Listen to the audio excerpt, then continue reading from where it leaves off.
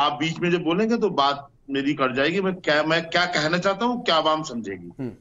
मैं खुले लफ्जों में कह रहा हूँ कि फ़िल्मों के ज़रिए आप हिंदू समाज को उकसाने की जो साजिश कर रहे हैं जो साजिश हो रही है देश में हमारे खिलाफ जो आज आप जैसे कल वहाँ अत्याचार हुआ था या नहीं इस ये ये जाँच का विषय है। इतिहास वो वाला इतिहास पेश किया जा रहा है जो नागपुर के दफ्तर में लिखा लिखा गया है। इति, असल इतिहास पेश नहीं किया गया।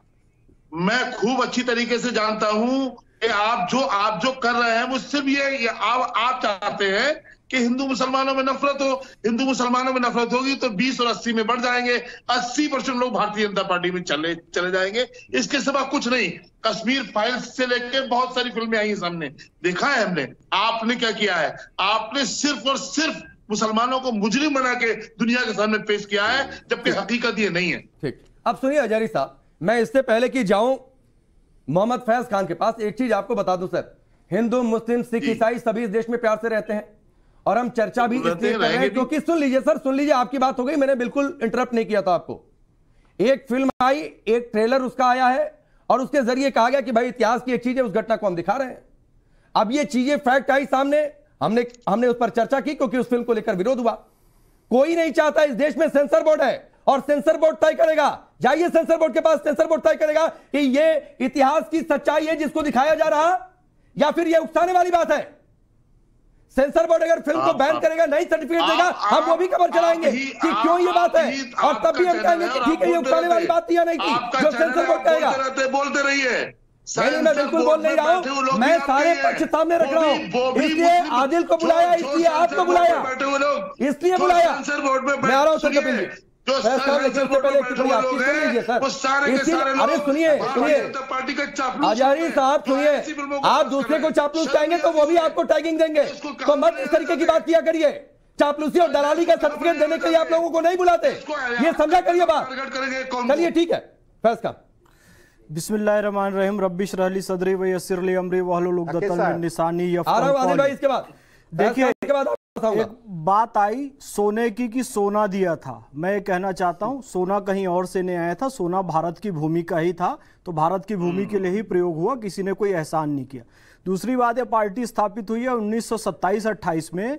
मजलिस इतिहादुल मुस्लिमीन। और उन्नीस सौ सत्तावन में इसमें ऑल इंडिया जोड़ा गया जब ये पता चल गया कि सरदार वल्लभ भाई पटेल ने जब इनकी बहुत कुटाई कर दी ऑपरेशन पोलो चलाकर पता चला अब ये भारत से अलग नहीं हो सकते। तो इन्होंने धीरे से ए आई शब्द उसमें जोड़ दिया ऑल इंडिया मजलिस इतिहादुल मुस्लिमीन। तो ये एम आई एम और ए आई एम आई एम इसमें कोई अंतर नहीं है।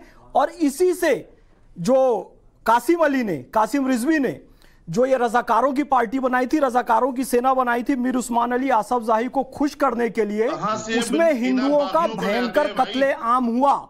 मोपला के समय हुआ। 16 अगस्त 1946 को हुआ डायरेक्ट एक्शन डे में। इतिहास की सच्चाई को स्वीकारना चाहिए। कि हिंदुओं के साथ जो कुछ भी रजाकारों की सेना ने किया हैदराबाद में। हैदराबाद उस समय आज का हैदराबाद शहर नहीं था बल्कि तेलंगाना और वर्तमान समय का जो आंध्र प्रदेश है वो पूरा मिलाकर हैदराबाद था। और वहाँ पर लगभग दो लाख हिंदुओं का एक अनुमान के अनुसार कत्लेआम किया गया तो यदि ये सच्चाई सामने आ रही है कि उन सांप्रदायिक लोगों ने ऐसा किया तो उस सच्चाई को सामने आने देना चाहिए। ताकि देश में कुछ अंदर से सुलगता ना रहे जो है वो सामने आ जाए। जिन लोगों ने किया वो माफ़ी मांग ले। असदुद्दीन ओवैसी और अकबरुद्दीन ओवैसी से निवेदन है बताए वहाद ओवैसी कौन है? बताए सलाहुद्दीन ओवैसी कौन है? बताए कासिम रिजवी कौन है? बताए मीर उस्मान अली आसफ शाही कौन है? ये सब वही लोग थे जिन्होंने हैदराबाद को मत इतना चिल्लाया करिए। फैज खान आपको सुन रहे थे। धैर्य से आपको सुन रहे थे। तो आप भी उनको सुनिए। और सबको एक दूसरे को सुने। एक मिनट बंद करो इस आदमी को। भाई साहब मैं इज़्ज़त से बात कर रहा हूँ। बैठा हुआ। एक सेकंड क्या बोल रहा है? दिखा रहा है मुसलमान होकर के। नहीं नहीं। मुसलमान से बात कर। नहीं नहीं। स्वीकार करने की हिम्मत नहीं है। आजारी साहब अभी अभी सब शांत रहेंगे। आजारी साहब आजारी साहब फैज खान सच्चे मुसलमान है कि नहीं है? आप सर्टिफिकेट नहीं देंगे उनको। ये समझिए इस बात को। चलिए ठीक है। नहीं भैया भैया भैया जो पाकिस्तान जिंदाबाद बोले वो सच्चे मुसलमान है इनकी दृष्टि में। जो शरीर में बम फाड़ बाँध के फट जाए वो सच्चा मुसलमान है जो देशभक्ति की बात करे मोहब्बत की बात करे वो सच्चा मुसलमान नहीं है इनके लिए। फैज आप शांत रहेंगे आजारी साहब शांत रहेंगे।